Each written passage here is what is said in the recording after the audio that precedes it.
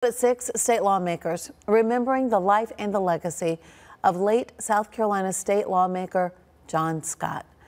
The South Carolina Senate Democratic Caucus confirmed the senator's death yesterday afternoon, saying Scott's dedication to the people of South Carolina spanned more than three decades.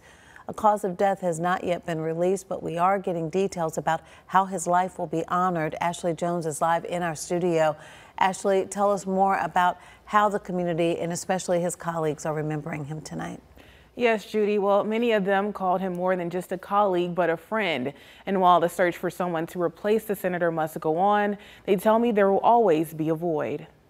He was dedicated to his constituents and the people of this state. And he's such a vibrant voice for, for again, for people who have no voice a few words to describe Senator John L. Scott. Uh, you don't serve in public office for 33 years without delivering to your constituents and being a force in the Senate, and John Scott was. Senator Nikki Setzler says Scott was a valued member of the Senate. Very interested and focused, laser focused on what I call living room issues, mm. the issues that are important to people education, health care, broadband access uh, reaching everybody in this state, regardless of where you lived.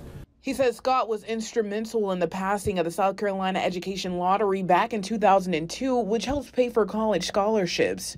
The South Carolina State University grad also pushed for more funding for black colleges and universities in the state. But Setzler says he also knew the senator outside of House chambers. He was a true gentleman. He was kind, he was compassionate, he was caring, he was dedicated. And I think we lose a voice in the Senate for those who don't have a voice. Senator Dick Harpootlian says he knew Scott since the two served on county council together back in 1988. I served with him on county council for the next two years before I ran and got elected solicitor. He continued to serve um, and ran and was elected to the House of Representatives. So I knew him from county council. I knew, I knew him from his endeavors in the House. Scott also focused on issues surrounding healthcare and economic development, and most recently, he worked to expand high speed internet access in rural parts of the state. Harpootlian believes the era that Senator Scott grew up in fueled his passions for the issues he brought to the forefront. He understood what racism, blatant racism, looked like. I mean, I went to all white public schools, that's how I grew up. He went to all black public schools, that's how he grew up. Um, and integration came I guess maybe while he was at the end of his public school uh, career, but uh, he had seen uh, segregation.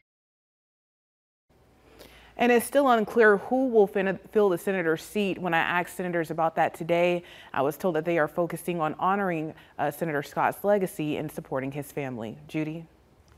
Funeral arrangements were announced earlier today. Visitation will be held Friday from 6 until 7 at Leevy's Funeral Home. A memorial service will then be held Saturday at 11 a.m. at Bible Way Church of Atlas Road.